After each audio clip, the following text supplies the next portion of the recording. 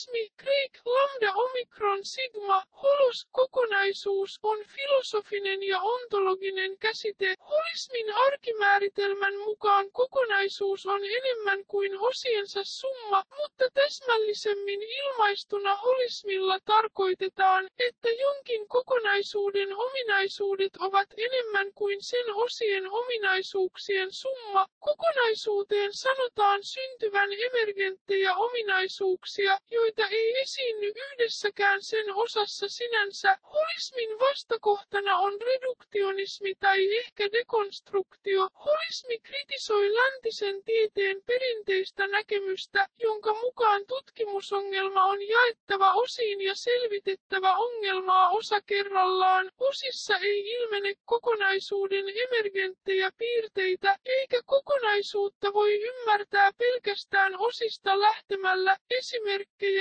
yksittäisellä kultaatomilla ei ole muotoa, väriä eikä ulottuvaisuutta, mutta kultahipulla on nuo ominaisuudet biologisessa molekyylissä ei ole yhtään elämää, osana solua se on osa elämää. Neuronissa ei ole tietoisuutta, mutta osana aivoja neuroni on osa tietoisuutta. Auton ohjauspyörällä ei voi ajaa tai kuljettaa ihmisiä, mutta osana autoa ohjauspyörä on osa kuljetuskykyistä yksikköä, autoa, edellä mainitun tyyppinen ajattelu johtaa kokonaisuuden tutkimiseen kokonaisuutena, tarkemmin sanottuna kompleksisuuden hallintaan.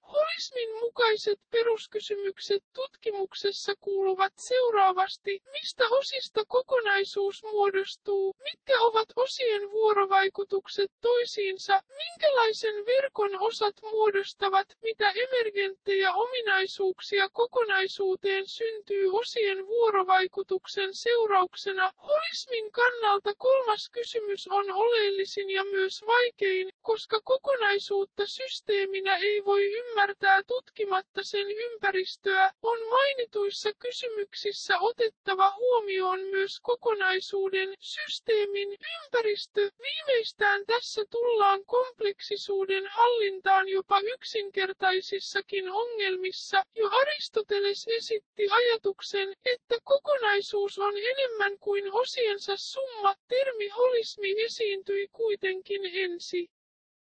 Ommäisen kerran vastaajan Smutsin kirjassa vuonna 1926 kvanttifyysikoista muun muassa David Bohm kannatti holismia. Aiheesta seuraavana tieteen paradigmana on kirjoittanut muun muassa amerikkalainen filosofia fyysikko Heinz R. Pagels aiheesta muualla holismin määritelmiä Googlessa.